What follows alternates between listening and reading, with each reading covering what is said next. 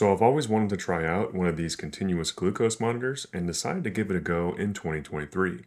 I've been a pretty strict carnivore diet eater since 2019 and wanted to gather some data on how my normal meals affect my blood glucose and how an off-diet meal would be handled by my system.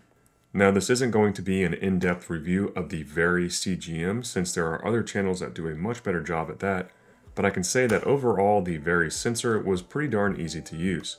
There's a bit of a mental hurdle to get over with the application needle since it does look fairly large, however I did not feel any pain when applying this device into my tricep.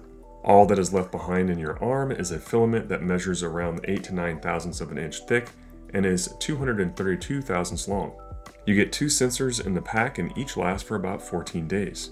Over the course of two weeks, I was able to continue my normal active lifestyle, which includes weightlifting, Brazilian Jiu Jitsu, and making epic custom knives in my shop. I did start feeling a slight tinge in the insertion location over the last two or so days when moving my arm in certain ways, but it was not unbearable.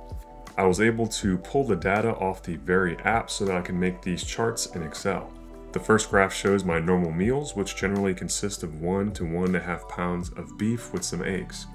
The vertical y-axis is the glucose reading from the meter, and the horizontal x-axis is the hours since the start of the meal.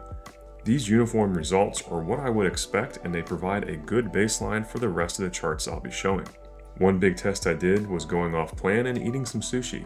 I probably do this around one to three times a year, so I was curious to see the effects. I've always been able to eat a large amount of food, so this sushi line you're seeing here is about three and a half to four rolls.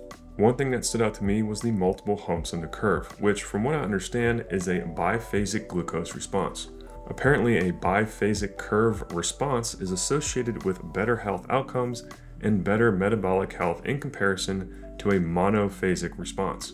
If anyone out there has a bunch of experience with glucose data, I'd be interested to hear your thoughts on my body's handling of these meals.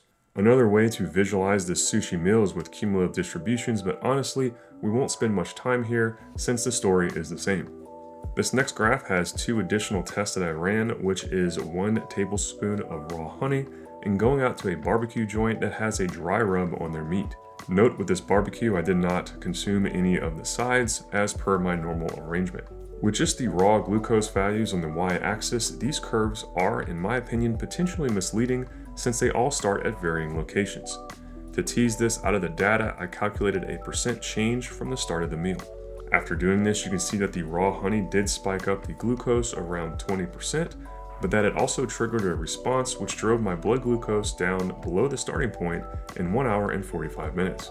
I'm not sure what conclusions I can take from this, but it makes me think that honey could potentially be used post weightlifting without much negative ramifications. I'm not sure about that, but that's just me thinking out loud. The barbecue with a dry rub did show an elevated response versus my average carnivore meal, but honestly it was not as bad as I thought it would be. I'll continue to occasionally go out to eat barbecue with my coworkers in the future. Lastly, as a side note, I do drink a Jocko Go caffeinated drink on the regular and did not see any response worth showing from the monk fruit they sweeten it with. With all that, I hope you all thought this was interesting, and if you're thinking of getting a CGM, hopefully this video gave you some solid examples of the data you'll be able to gather. Until next time, this is Red Beard Engineered, signing off.